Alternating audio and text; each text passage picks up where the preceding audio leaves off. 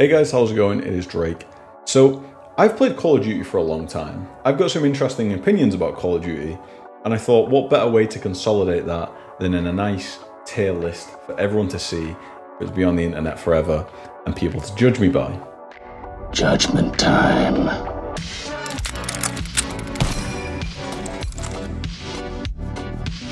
Now, my list might go pretty quickly because a good portion of the games probably exist in the middle. That's why the red and the green have got to be very distinct from each other. At the top, we've got Daddy Tier. This game's near perfection. You're not going to get better than this. This is the creme de la creme of Call of Duty games. The right gameplay, the right maps, the pro scene is decent. It's almost unanimously loved. I am going to have games in this category that you do not agree with. On the flip side of that, losing IQ. If you like the games in this category, you may not like me and I may not like you. We might have problems. This is a Call of Duty game to its core. Bruh. So with that said, I want to add the first game to losing IQ. Call of Duty Advanced Warfare nearly destroyed the franchise because of its trash movement that tried to emulate the forward momentum of Titanfall. Titanfall tried to do something different with the founders of Modern Warfare 2. Really good game. Call of Duty thought it was falling behind and it tried to reinvent the wheel. It fell over. It was dog shit. This is not a good game. It was never a good game. If this was one of your first Call of Duties and you've got that nostalgia for it, I respect that. I've got that for other games on this list, but this ain't it. This is a bad game almost across the board. With that said, let's just kind of crack through the list pretty quickly. Call of Duty 1, it was on PC. I played it retroactively on PlayStation 3. It was single player only at the time, I think, but it was moody vibes. It, it just wasn't it wasn't what we wanted it to be. For me, retroactively. That said, I'd played a ton of Call of Duty at that point, so this game wasn't going to do it for me. Call of Duty 2, The Origins of Optic Gaming. Um, this felt good at the time, and when I go through this list, by the way, I want you to remember one thing. I'm doing this how I felt at the time and how I feel like looking back. Call of Duty 2, great sniping game. Everything else, meh. Call of Duty 3. This is when I started playing Call of Duty. I've in fact only played the others retroactively. So Call of Duty 3, where does this go? It's meh. It's meh. This was Treyarch's first Call of Duty game. It was my first real online game, I want to say. I didn't have a PC growing up, like not a great one. And this was my first, probably FPS online. They tried a lot of stuff in this game. They tried weapon loadouts similar to Battlefield. They tried vehicles similar to Battlefield. They tried big maps similar to Battlefield. It just didn't work and people weren't enjoying it. 50,000 people used to live here. Now it's a ghost town. This is the most important game. It was the first time they introduced their prestige-like system, RPG elements, create a class, etc., all that good stuff. This game changed a lot of things. This game is daddy tier. Not only because it was great when it came out and everyone loved it, because of what it means to the industry and what it actually does for games just everywhere. Like, I don't care if you dislike Call of Duty and you're watching this video ironically, this game improved your gaming experience overall. World at War this is the first interesting one, and let me tell you why. I'm old enough to remember when this game came out and everyone flooded back to Call of Duty 4. People called this a skin of Call of Duty 4, and they weren't entirely wrong. I have got a lot of respect for this game. I like World War II elements, which is why I like Vanguard coming up. This go, I think this goes in S tier, right? Because you can't make the argument that this is just a skin of Call of Duty and then place it somewhere below that, right? It's still got the gameplay, it's still got the fundamentals, it still feels good, and the maps were really good in this game. And it introduced zombies, so a ton of respect for that game. Oh god, I have next to no subscribers and I'm about to lose any that I may do have. Uh, Modern Warfare 2. No, it's not in daddy tier. You have a foggy memory when it comes to this game. This game is great for one reason and one reason only. It put gaming on the map. Everyone knew about this game. Everyone bought this game. Everyone experienced this game in some way or another. This is a respectable game because I think it made Avengers level money in 2009. It was one game, it made it in a day. The game, though, mixed feelings on. Great map design, reasonably good multiplayer, atrocious weapon balancing, right? The UMP 45 just shredded everything at long range with stopping power. The ACR was effectively a laser beam. You think you see accurate guns now in Call of Duty? No, no, you didn't see anything until you've seen the ACR in Modern Warfare 2. I'm doing all this off memory, by the way. That's how painful of an experience this game kind of was. I remember when the nuke was first a thing and people loved it. I got hundreds, if not thousands, of nukes on that game. You didn't need 25 kills, you needed 7. You got a Harrier jet, a chopper gunner, and you're off to the races. You were usually good to get a nuke. My biggest issue with this game, and this is where most of Call of Duty fans disagree with me, it got rid of Juggernaut, but kept stopping power. Here's the math behind it. Stopping power adds 25% damage. Juggernaut adds 25% health. If we run into each other and we've got opposing perks, it just equals each other out. But people had this idea and people cried about it that Juggernaut was OP and this and that. It wasn't. It was completely equal. It was just the perfect antidote to stopping power and everyone used it. In Modern Warfare 2, they removed Juggernaut and kept stopping power. It was ridiculous, it was stupid, and just wasn't for me. Where does it go on the list? For me, with everything said, I owe a ton of respect for the game. It could go in S tier, but for me, it's actually not. It's going to go down as a solid game. Like, the, I know you're pausing the video to go to the comments, but that's just where it is.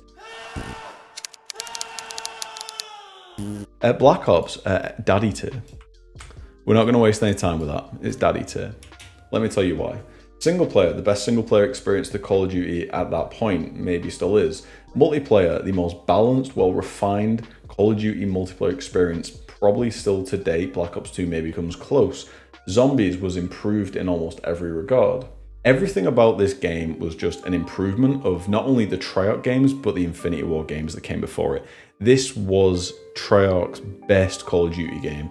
Maybe still is, depending on who you ask, but we're asking me, and yeah, this is probably my favorite Call of Duty game of all time. Modern Warfare 3. Um, this was actually when I last properly did YouTube. Um, I got a lot of views because of this game, and I was very proud of it. Was it good? No. This goes in the like solid to met here. Like if I could put it right here, I would. I'm not going to do you like that. I'm going to say it belongs maybe this category. Really good maps. Really good maps. Awful pro scene. And the guns felt really good. And the introduction of Specialist, I think, just made the game super enjoyable because whenever I was making gameplays, and this is biased to me, of course, but whenever I was making gameplays, it felt so good to get like a 100 kill game just using Specialist because no one would be in the comments like, oh, you just got that because of the kill streaks. Brilliant. Black Ops 2. Great pro scene, great ranked mode in the game, great multiplayer, a great single player, I think, and Zombies was improved. Uh, across the board, a better game than Black Ops 1 I can't say much about this game because I played it for about a day, and I mean a day in game time, so 24 hours. I didn't have the time at university, and I always regret the fact I didn't carry on my YouTube channel and just make videos about Black Ops 2.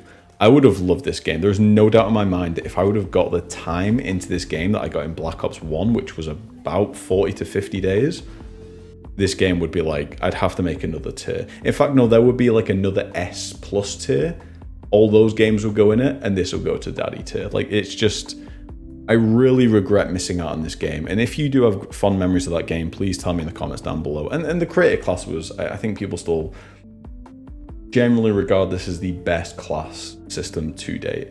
Um, I'm going to put it in S tier purely because what I did play of it was exceptional, and I'm no stranger to like understanding the game and fully appreciating why it was just absolutely brilliant. Call of Duty Ghosts the series was in a bit of a weird point here because I think it was catching some heat from Battlefield 4 maybe or some other Battlefield game. People were falling off. It was the change of the console generation. Hmm. I wasn't a big fan of this game. This was definitely moody vibes. Uh, th this wasn't for me. Black Ops 3 uh, is S tier. Uh, I'll have nothing about it. I have a ton of respect for this game because this was where the refinement happened. This was where the, the nonsense from Advanced Warfare was gone, and they made huge improvements on this game. Really, really good work. Uh, everything felt good, and this was arguably one of the best competitive seasons as well of Call of Duty. Big fan. Uh, Zombies was improved as well, so I, I Just great stuff. Infinite Warfare. Um, I played not a lot of this because I left university and I had a ton of depression and I was miserable. But I did play it. I quite enjoyed it. So I'm going to put that in uh, the solid tier. It had a pretty good pro scene as well. And yeah, all round good game. Call Duty World War II. Now, if you're thinking, Drake, why are you being retroactive with some of these? Here's why.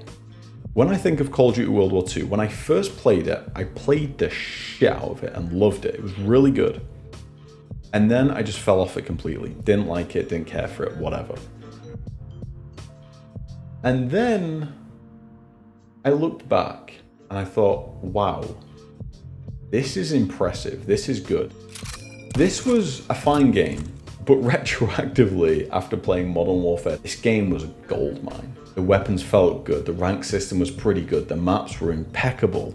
I think this goes in a solid, solid, solid tier because there is so much good about it and it just didn't get the right chance. And I think Sledgehammer, arguably Sledgehammer are the most impressive studio of all of the Call of Duty studios. And I'm really, really impressed with what they've managed to do with the, the, the shackles on of Call of Duty in some ways. Black Ops 4, uh, Black Ops 4 is, is oh, uh, it's, I'm going to say it's a solid game. I didn't really like the Specialist. If the Specialists weren't in the game, and this was a refinement of the Black Ops 2 formula, daddy to, but it wasn't.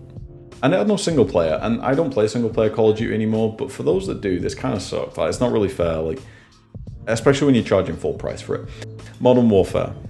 Uh, the doors sucked, I don't like the new engine, I don't like the movement. Uh, there's very little about this game I actually like. The multiplayer was atrocious for the longest time, might still be. And this is, uh, I've spent 10 years watching esports, if not longer, maybe 15, I don't know. This has the single worst viewing experience of any esports title I have ever watched. I've watched Rocket League drunk, and it was a more comprehensible like situation than this. This was atrocious. If you need to know what I'm talking about, go back and watch the first ever event of Modern Warfare when the CDL was introduced they would just kept like swapping screens. It was 5v5, I think. It was just so bad. It was so, so bad. Call of Duty Cold War. Call of Duty Cold War goes to meh as well. Now, I this game deserves a little bit of credit, and I'm going to tell you why. This game was made effectively during the pandemic, I believe. So the team worked on this when they were working from home the multiplayer was very strong for this game. I can't say much for the rest of the game because I didn't play it all that much. But what was there in the multiplayer was just really kind of what they could muster together, and I think it was fine.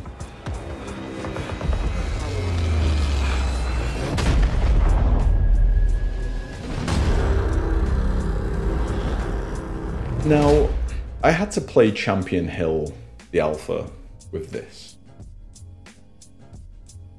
As much as I like my PlayStation 5, this is not my preferred control style. Uh, this is this this little puppy right here. So when I'm playing the game, and you may have seen the video already, I might put it up first. It makes sense to put it up first. Oh, I couldn't. I, it, it, angers me because I used to be so good at Call of Duty and controller, right? Like the 37 KD, all that good stuff. I was like GB leaderboard number one, all that. Good stuff with a controller and I cannot use a controller anymore. So it angers me. And I know that if I was using a mouse and keyboard, I would just not crush, well, I'd probably crush them. I'd do a lot, lot better than I could do on a controller. That said, is the game enjoyable? Yes. Champion Hill's very good. It's a really nice refinement of the gunfight stuff from Modern Warfare. The gunplay feels pretty good, although it could do with some tightening up a little bit. First impressions of the game are like just really, really impressive. Like this is really good stuff. This could be the game that, that sits really close to S tier or drops below the solid tier. depends on what they do with ranked mode with, with certain create a class stuff. Like it really, really depends. I want to be optimistic, and I've said this from the start with this channel. I will always try and be optimistic on things. I'm going to say it's going to be an S tier game it's so nice to see all of the titles like this as one because I've thought of this list for years and never really bothered to do anything with them. So it's nice that they're all here. If you agree or disagree with anything, again, just tell me in the comments down below. I'm very interested to hear about other people's opinions. You may have absolutely loved Black Ops 4. You may have absolutely loved Advanced Warfare, and I can completely understand why. It's just not for me. That said, if you've enjoyed the video, if you enjoy the channel, all that good stuff, there's plenty more to watch and do. Subscribe, like, all that goodness. And I will see you in probably the Vanguard video. Peace.